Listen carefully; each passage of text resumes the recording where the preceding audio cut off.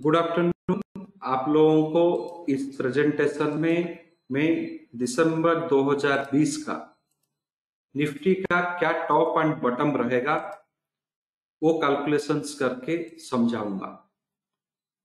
आप सब लोगों को पता होगा स्मार्ट फाइनेंस में बहुत सारे न्यू कॉन्सेप्ट के ऊपर में न्यू कॉन्सेप्ट के ऊपर में रिसर्च होता है।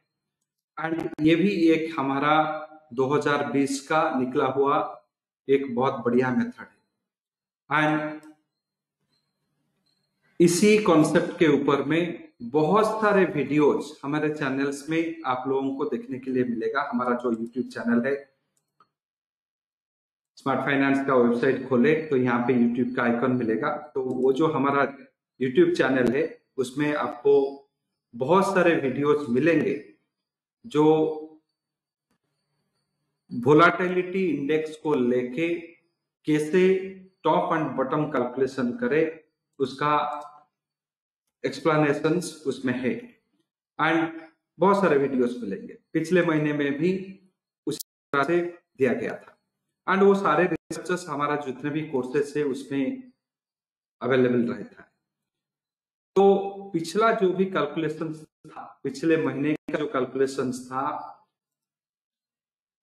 वो कैलकुलेशन से इस महीने के कैलकुलेशन में थोड़ा सा आपको अंतर देखने के लिए मिलेगा।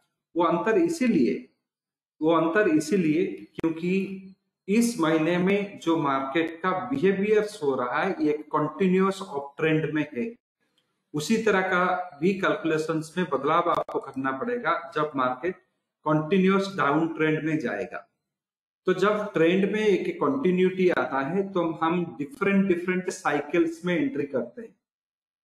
तो हाँ आपको भी ये साइकिल्स पता चलेगा। जब निफ्टी 7500 में था, बहुत लोग सोच रहे थे कि ये 5000 भी हो जाएगा।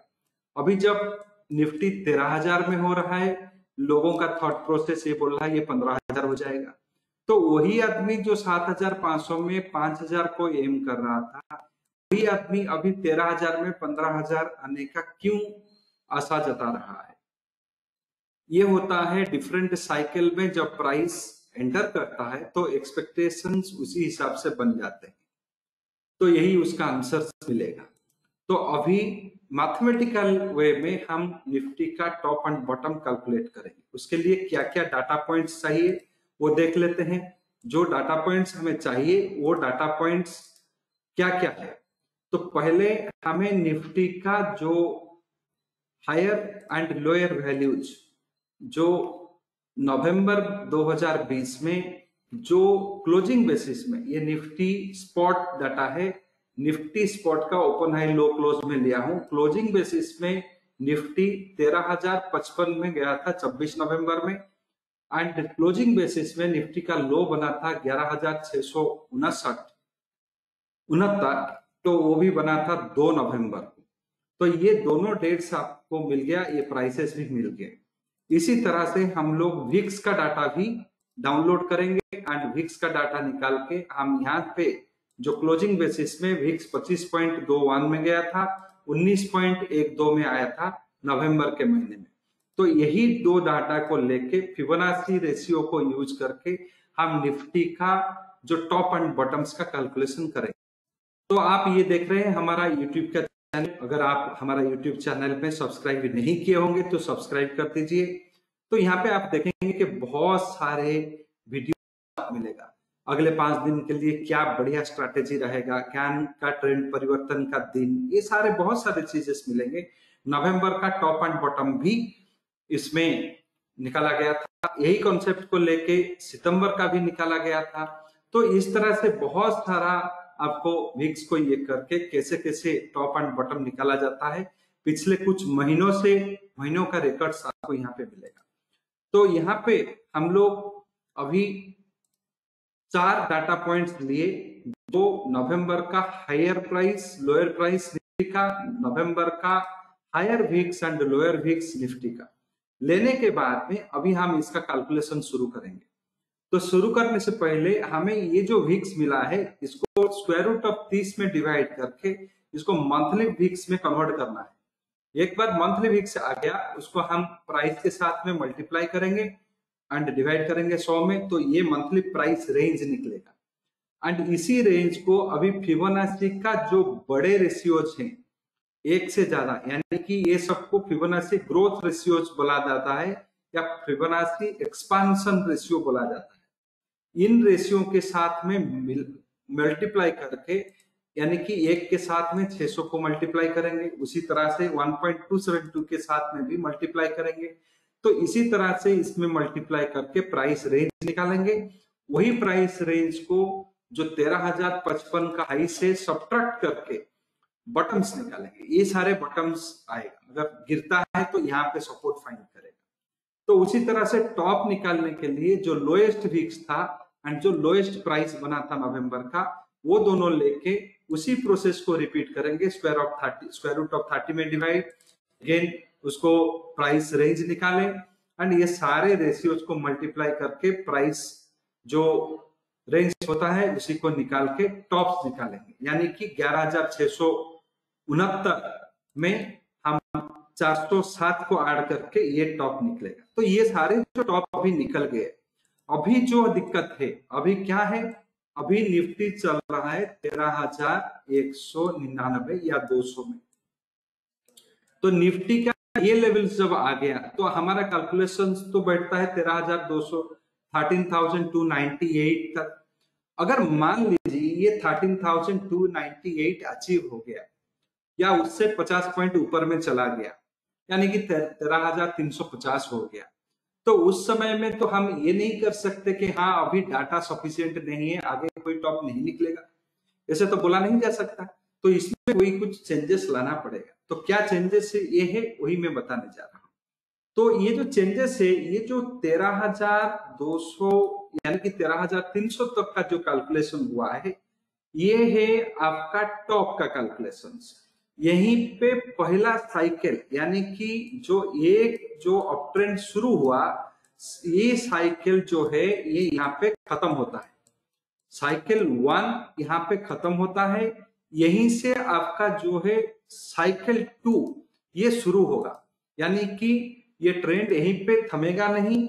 अगर आगे जाता है तो साइकिल टू में वो एंटर करेगा। तो ये डिफरेंट डिफरेंट साइकिल्स को जो होता है, वो भी एक स्टॉक मार्केट में एक बढ़िया थ्योरी है, जिसको साइकिल थ्योरी बोला जाता है। वो साइकिल थ्योरी में वो सारे चीज़ आपको पढ़ने के लिए मिलेगा।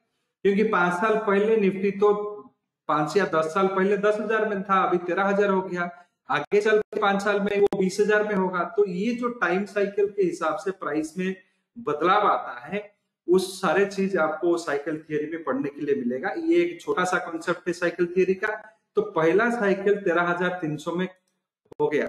अभी आगे तेरह हज़ार तीन सौ से आगे बढ़ेगा। यानी कि तेरह हज़ार टू नाइनटी एट यहाँ पे अगर हम कर दे तो हम और कोई वैल्यू चेंज नहीं होगा। इसको अगर बदल दे तो हमें जो भी वैल्यूज़ मिलेंगे, ये आगे का टॉप यानी कि thirteen thousand two ninety eight के ऊपर में जो टॉप होता है, वो होगा तेरह हज़ार सात सौ बासठ, तेरह हज़ार आठ सौ। अठासी एंड ये दोनों का मिड वैल्यू यानी कि ये दोनों को मिला के डिवाइड कर दो दो में, ये भी जो मिड वैल्यू है, वो भी एक टॉप बनेगा। तो ये सारे टॉप्स होते हैं सेकेंड साइकिल का। जब आप सेकेंड साइकिल का टॉप निकालेंगे, उसी समय में आपको सेकेंड साइकिल का बटम भी निकालना पड़ेगा। सेकेंड साइकिल का जो बटम है, वो तेरह हज़ार पचपन से होगा नहीं। तो यहाँ पे भी आपको तेरह हज़ार दो सौ अट्ठानबे करना पड़ेगा। यानी कि जब सेकेंड साइकिल का बात आ गया, तब दोनों प्राइस पॉइंट बदल जाएँगे भिक्स सिर्फ़ बैठेगा। वही प्राइस लेवल में भिक्स बैठेगा। तो यहाँ पे जो सेकेंड साइकिल के कैलकुलेशन आप फिर से देख लीजिए, जो तो यहाँ पे जो हमारा था ग्यारह हज़ार छह सौ उनहत्तर, ये तेरह हज़ार दो सौ thirteen thousand two ninety eight तक ये ट्रेंड चला। 13,298 के ऊपर में जो भी ट्रेंड होगा ये रहेंगे मेजर ऑफ़ ट्रेंड्स एंड उसी तरह से मेजर ऑफ़ ट्रेंड जब एक बार कैलकुलेट कर लिए तो आपको मेजर डाउन ट्रेंड भी कैलकुलेट करना पड़ेगा वो भी 13,298 से. तो यही होते हैं सेकेंड साइकिल के कैलकुलेशन सेकेंड साइकिल खत्म हो गया तो थर्ड साइकिल में आप कैलकुलेट कर सकते हैं. तो ये रेयरेस्ट केस में आता है बट इस जो महीने में हमें दिसंबर के महीने में शायद वो सेकेंड साइकिल का कैलकुलेशन करके सेकेंड साइकिल का टॉप को फॉलो करना पड़ेगा। तो ये है कैलकुलेशन दिसंबर का। पहले का जो भी कैलकुलेशन है, यहाँ पे दिया गया है, अगस्त का सितंबर का अक्टूबर का, ये सारे महीनों का टॉप एंड बॉटम कैलकुलेशन दिया गया है। अभी इस महीना दिसंबर 2020 में ये टॉप एंड बॉटम कैलकुलेशंस को सीखिए, देखिए ये काम करता है नहीं, तब जाके इस मेथड का एक्यूरेसी आपको चलेगा। अगर आप स्टॉक मार्केट में कुछ इसी तरह का मैथमेटिकल कॉन्सेप्ट को पढ़ के समझना चाहते हैं, यानी कि अगर आप चाहते हैं कैंडलस्टिक भी पढ़ूं बट वहाँ पे भी एक साइंस मुझे पता चलना चाहिए कि जब भी हमारा कैंडलस्टिक का पैटर्न बनता है, यानी कि जो भी पैटर्न कैंडल स्टिक का बनता है, उसका पीछे में क्या मैथमेटिक्स है? चाहे वो स्पिनिंग टॉप हो, चाहे वो कोई डोजी फॉर्मेशन हो या चाहे वो कोई भी आपको जो भी पैटर्न्स बनेंगे, जितने भी पैटर्न्स है, उसके पीछे में मैथमेटिक्स क्या है तो वो हमारा टेक्निकल कोर्सेस में आपको मिल जाएँगे। जितने भी टेक्निकल कोर्सेस है, यहाँ पे ये तीनों टेक्निकल में मिल जाएगा। इलियट वेब का रूल्स क्या है, उसमें कैसे पढ़े, सीखे तो उसको भी इलियट वेब के कोर्स में मिल जाएगा। डब्ल्यू ज्ञान का तो फैंटेस्टिक कोर्सेस है जैसे स्क्वायर ऑफ़ नाइन का कैसे निकला, उसको काम पे कैसे लगाए, वो सारे चीज़ इसको यहाँ पे मिल जाएँगे। फ्यूचर्स एंड ऑप्शंस में कैसे काम करे ऑप्शंस में हेजिंग कैसे करे ऑप्शंस का जो स्ट्रैटेजी कैसे बनाए, ये बारे में जानना चाहते हैं तो ये भी एक कोर्सेस है। एंड उसी कॉन्सेप्ट के ऊपर में आधारित बहुत सारे सॉफ्टवेयर से जो इतने महँगे नहीं होते हैं हमारे, वो बहुत बाकी सॉफ्टवेयरों से बहुत कम दाम में मिलते हैं एंड इनका एफिशिएंसी उससे बहुत ज़्यादा होता है, क्योंकि ये सब न्यू कॉन्सेप्ट के ऊपर में आधारित है। तो ये सारे सॉफ्टवेयर भी हमारा जो इंट्राडे के है ऑप्शन स्ट्रैटेजी के है, ये भी आप अगर चाहे तो इसको प्रोक्योर कर सकते हैं। तो ये जो प्रोडक्ट्स है, इसके बारे में अगर आपको कुछ क्वेरीज होता है तो ये जो ऊपर दिए गए नंबर से कोई भी एक नंबर में आप कॉल करके पूछ सकते हैं। तो अगर कुछ क्वेरीज है, कुछ प्रोडक्ट लेना चाहते हैं तो इसके ऊपर में आप हमें कॉल करके पूछ सकते हैं। इस वीडियो अगर अच्छा लगा तो अपने दोस्त लोगों के साथ में शेयर कीजिए। अगर आप हमारे चैनल को सब्सक्राइब नहीं किए हैं तो एक सब्सक्राइब भी कर दीजिए। Thank you very much thank you for your time and दिसंबर में इसी मेथड को परखिए, देखिए कि ये जो रीडिंग्स दिया गया, ये कितना दूर तक सही है। उसके बाद में अगर ये अच्छा लगता है, तब जाके आप उसको अपने ट्रेड में उसको यूज़ कीजिए। Thank you very much thank you very